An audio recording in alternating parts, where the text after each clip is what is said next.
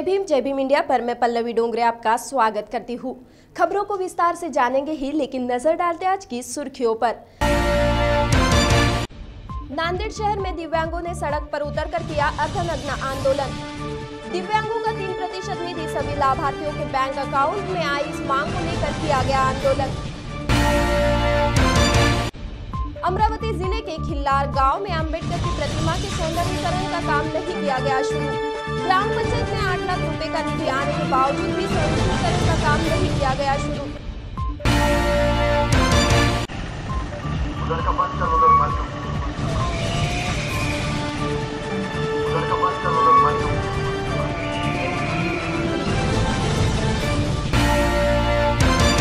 अब खबरें विस्तार से। दिव्यांगों का तीन प्रतिशत निधि, सभी पात्र दिव्यांग लाभार्थियों के बैंक अकाउंट में जमा हो। इस मांग को लेकर आज नांदेड़ वाघाला महानगर पालिका पर दिव्यांगों ने अर्धनग्न मोर्चा निकालकर अपना निषेध व्यक्त किया। दिव्यांगों का तीन प्रतिशत निधि। सभी पात्र दिव्यांग लाभार्थी के बैंक अकाउंट में जमा किए जाए। ऐसी विविध मांगों को लेकर नांदेड़ शहर में दिव्यांगों ने नांदेड़ शहर में मोर्चा निकाला। इस अवसर पर डॉक्टर बाबा साहब आम्बेडकर छत्रपति शिवाजी महाराज, इनके पुतले को माल्यार्पण कर मोर्चा की शुरुआत की गई इस मोर्चे में शामिल सभी लोग अर्धनग्न होकर चल रहे थे, जो सरकार के विरोध में नारेबाजी भी कर रहे थे। दरअसल दिव्यांग अपनी मांगों को लेकर कई आंदोलन करते आए हैं। लेकिन उनकी मांगों की ओर सरकार किसी भी तरह का ध्यान नहीं देती है, जिसके कारण अर्धनग्न होकर दिव्यांग सड़कों पर उतर आए। ये मोर्चा शहर में स्थित महानगर पालिका पर निकाला गया, जहाँ दिव्यांगों ने अपनी मांगों को लेकर प्रदर्शन किया। दिव्यांगों का तीन प्रतिशत, तीन टके खर्च करने के लिए गत दो साल से दिव्यांगों ने बड़े मोर्चे किए। आज महानगर पालिका पे डॉक्टर साहब अंबेडकर पुतले के पास से संघर्ष यात्रा निकाली गई, आक्रोश संघर्ष यात्रा, जिसमें अर्धनगर, जिसमें आक्रोश मोर्चा निकालकर महानगर पालिका सामने आज अर्धनग्न आंदोलन किया गया।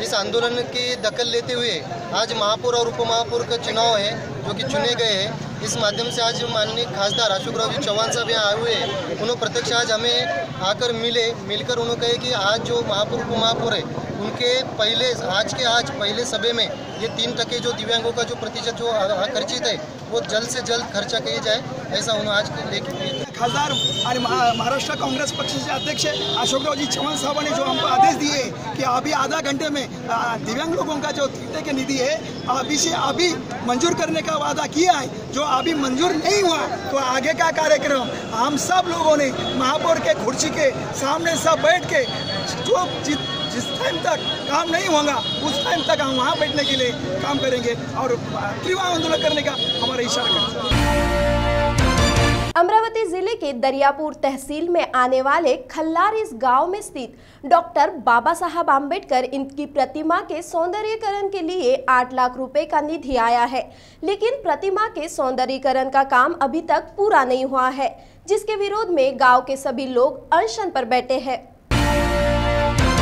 अमरावती ज़िले के खल्लार इस गाँव में डॉक्टर बाबा साहब आम्बेडकर की प्रतिमा स्थापित है, जिसके सौंदर्यीकरण के लिए खल्लार ग्राम पंचायत में आठ लाख रुपए का निधि आया है। लेकिन स्थानीय ग्राम पंचायत की ओर से नीली पट्टी का बहाना बनाकर इस निधि को वापस भेजने का कार्य किया जा रहा है, जिसके विरोध में स्थानीय लोग अनशन पर बैठे हैं और ग्राम पंचायत का विरोध कर रहे हैं। जल्द से जल्द सौंदर्यीकरण के काम को शुरू करने की मांग कर रहे हैं। गाँव के लोग अहिंसा पर बैठे यही एक शोभाकुल है क्योंकि जो पूरे विश्व के घटना शिल्पकार भारत के इनके लिए सौंदर्यकरण तीन दो, दो तीन साल से जो मनुवादी विचारों के लोग हैं वो तीन साल तो ये सौंदर्यकरण होने दे रहे और ये नीला पट्टा सफ़ेद पट्टा लाल पट्टा कहाँ से पट्टा ये महामानव के लिए कहाँ से तुमने पट्टा लाया है?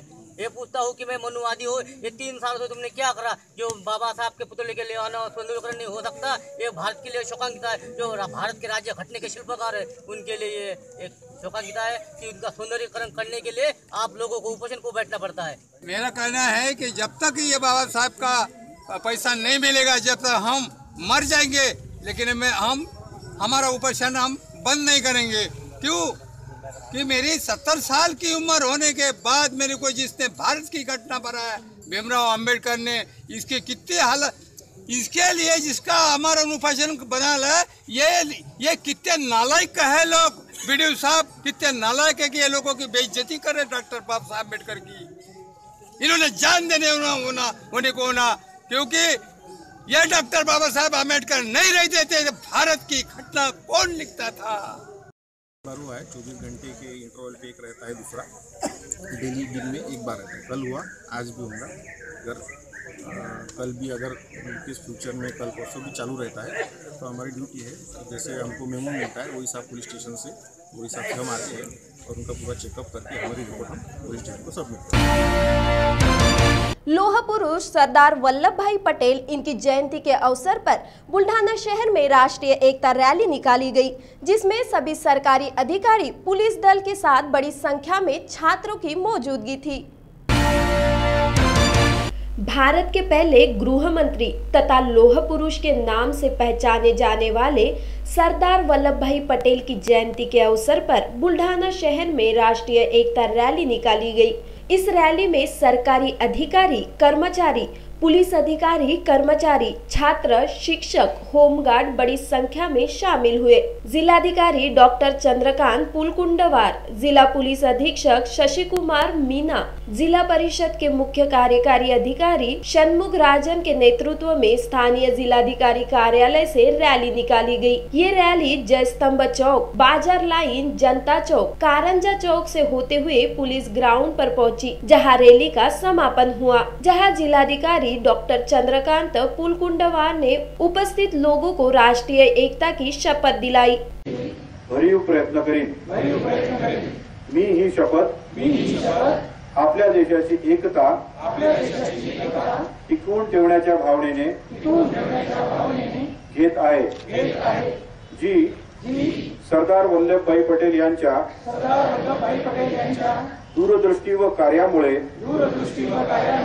राखणे शक्य झाले.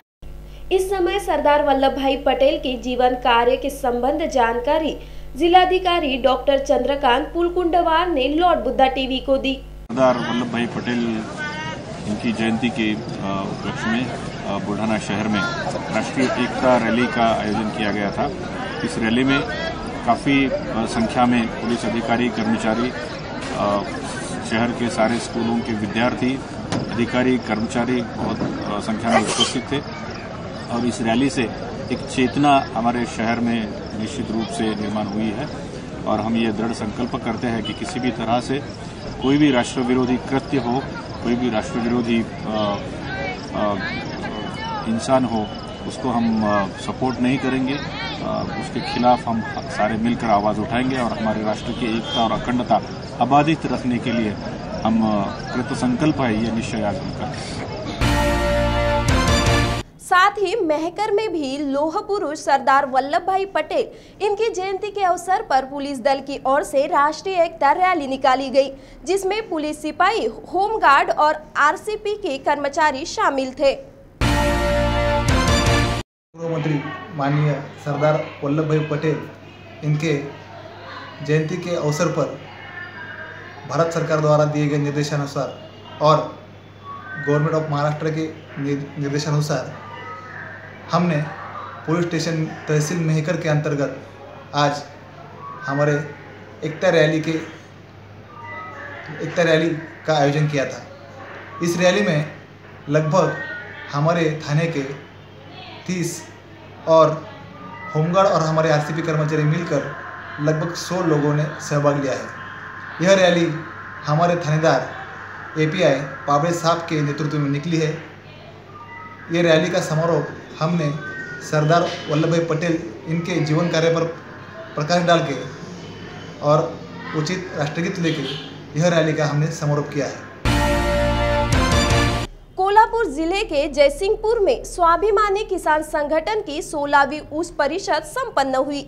ये परिषद सांसद राजू सेट्टी इनके नेतृत्व में संपन्न हुई, जहाँ लोगों को मार्गदर्शन करते हुए सांसद राजू सेट्टी ने पंतप्रधान नरेंद्र मोदी पर टिप्पणी की। समर्थन मूल्य जो होगा, लागत का, फ़सल की लागत का डेढ़ गुना पैसा देंगे। मोदी जी दिया, अगर नहीं दिया अगर नहीं दिया तो किसान दिल्ली में आकर हिसाब लेगा तुमसे? यही देखना है आज। मोदी जी ने कहा उत्तर प्रदेश में, सबका साथ, सबका विकास। मतलब सबके लिए होगा बोले, क्या बोले? सबका कर्जा माफ़ होगा, सारा कर्जा माफ़ होगा। आप लोगों ने कहा, हम भी लेंगे भाई कर्जा माफ़। जब प्रधानमंत्री ने कहा है कर्जा माफ़ होगा तो सबका बिल्कुल स्लेट साफ़ होना चाहिए, बिल्कुल खत्म होना चाहिए। क्या हुआ? मोदी जी पीछे हट गए। बोले, नहीं, राज्य सरकार करेगी करेगी, मेरे बस का है। अरे, तुम्हारे बस का नहीं, तुम वायदा क्यों किया तुमने। तुम मुख्यमंत्री थे, तुम प्रधानमंत्री थे। अगर तुम्हें मालूम नहीं कि किसानों की दिक्कत क्या है, फिर प्रधानमंत्री बनने के लायक नहीं हो तुम। मैं आपके सामने बोलता हूँ कि इस देश के सभी किसानों की कर्ज माफ़ी की जाए और प्रधानमंत्री नरेंद्र मोदी ने सत्ता में आने से पहले जो वादा किसानों को उत्पादन लागत से डेढ़ गुना हमी भाव दिया जाए, वो पूरा करे, ऐसा ठराव इस परिषद में पास किया जा रहा है। साथ ही किसानों की गन्ने की फ़सल को तीन हज़ार चार सौ रुपये टन हिसाब से खरीदा जाए, नहीं तो हम कोई भी शक्कर कारखाने शुरू नहीं होने देंगे। और किसानों से जो भी वादे सरकार ने किए थे, वो सारे वादे सरकार पूरी करे ऐसी मांग हम इस परिषद के माध्यम से कर रहे हैं। नांदेड़ वाघाला शहर महानगर पालिका के सर्वसाधारण सभा में आज कांग्रेस पार्टी की ओर से महापौर पद के लिए शीलाताई किशोर भौरे और उप महापौर पद के लिए विनय गर्डे इनका चुनाव किया गया। नांदेड़ महापालिका के इतिहास में पहली बार बौद्ध समाज की महिला शीलाताई किशोर भवरे। इनको महापौर पद पर चुने जाने से बौद्ध समाज में हर्षोल्लास का वातावरण निर्माण हुआ है। इस अवसर पर कांग्रेस पार्टी के महाराष्ट्र प्रदेश अध्यक्ष अशोक चौहान, पीठासन अधिकारी जिलाधीश अरुण डोंगरे, विधायक अमर राजूरकर, विधायक डीपी सावंत आदि उपस्थित थे। इस अवसर पर महापौर शीलाताई किशोर भवरे इनकी उपस्थिति में अम्बेडकरी कार्यकर्ताओं ने शहर के मुख्य मार्ग से रैली निकालने के बाद छत्रपति शिवाजी महाराज डॉक्टर बाबा साहब आम्बेडकर इनके पुतले को पुष्पमाला अर्पण कर भिक्खु संघ द्वारा त्रिशरण पंचशील दिया गया। यहाँ पर मैं सबसे पहले बाबा साहब आम्बेडकर ने हमें जो संविधान दिया, उसका मैं अभिवादन करता हूँ। और ये जो नांदेड़ के इतिहास में उन्नीस सौ चौपन में जो यहाँ नगराध्यक्ष बैठा था, और आदरणीय हमारे नेता शंकरराव जी चौहान, उसके बाद में ये अपने मागासवर्गीय अपने बौद्ध समाज को पहली बार ये संधि मिली है। ये अपने बौद्ध समाज का समाज का सबसे बड़ा गौरव है। अमरावती में होने वाले एक, दो, तीन जनवरी को भीमा कोरेगांव विजय स्तंभ शौर्य दिन को 200 साल पूरे होने के अवसर पर मानवंदना कार्यक्रम के पूर्व तैयारी के लिए महत्वपूर्ण बैठक संपन्न हुई। इस कार्यक्रम में श्रीलंका के प्रधानमंत्री और लंदन से कई मान्यवर उपस्थित रहने की बात बताई गई।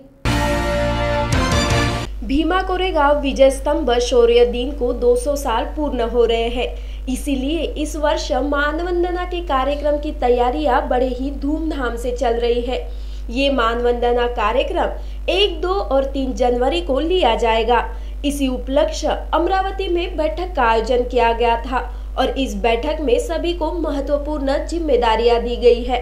इस मानवंदना के कार्यक्रम में श्रीलंका के प्रधानमंत्री और लंदन के कई मान्यवर उपस्थित रहेंगे। इस कार्यक्रम में आने वाले सभी के लिए रहने और भोजन की निशुल्क व्यवस्था की गई है। अमरावती में आयोजित इस बैठक में कैलाश मोरे, प्रदीप गायकवाड़ सहित कई मान्यवर उपस्थित थे। रूपरेखा आगे की एक दो तीन जनवरी के कार्यक्रम की रूपरेखा बताई गई।